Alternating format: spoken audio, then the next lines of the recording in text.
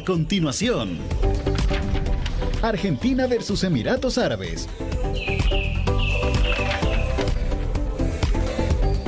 Por Canal 19, tu canal con conciencia verde.